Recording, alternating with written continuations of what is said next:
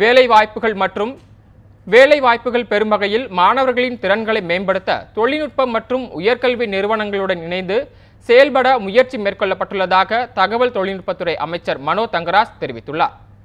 சென்னை கிழக்கு கடற்கரை சாலை கானாத்தூரில் உள்ள அமித் யூனிவர்சிட்டியில் ஓஎச் என்ற தலைப்பில் inter college at management fest என்ற நிகழ்ச்சி நடைபெற்றது.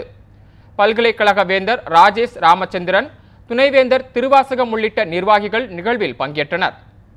இதில் சிறப்பு விருந்தினராக பங்கேற்ற அமைச்சர் மனோ தங்கராஜ் குத்துவிளக்கேற்றி நிகழ்ச்சியை தொடங்கி வைத்தார். இந்நிகழ்ச்சியில் சென்னை மற்றும் புறநகர் பகுதியிலிருந்து முப்பத்து எட்டு கல்லூரிகளைச் சேர்ந்த நானூற்று ஐம்பது கல்லூரி மாணவ மாணவிகள் கலந்து கொண்டு பயன்பெற்றனர்.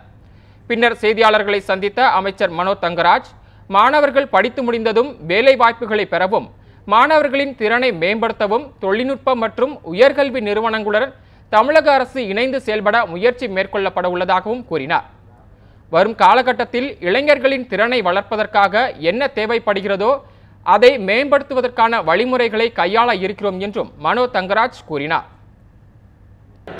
நம்முடைய கல்வி நிறுவனங்கள் குறிப்பாக உயர்கல்வி நிறுவனங்கள் அதே போன்று இந்த தொழில்நுட்பவியல் துறை வல்லுநர்கள் இது போன்றவர்களோடு நாங்கள் வந்து கலந்துரையாடல்கள் நடத்தி வருகின்றோம். காரணம் இந்த உயர்கல்வித்துறை சார்ந்தவர்களையும் தொழில்நுட்பம் சார்ந்த அந்த இண்டஸ்ட்ரியும் இணைத்து அதிகமான வேலைவாய்ப்புகளை பெருக்குவதற்கும் மாணவர்களுடைய திறனை வளர்ப்பதற்கும் இண்டஸ்ட்ரிக்கு தேவையான அந்த ஸ்கில்டு மேன் பவர் சப்ளை பண்ணுவதற்காகவும் நாங்கள் பல்வேறு முயற்சிகளை எடுத்து வருகின்றோம்.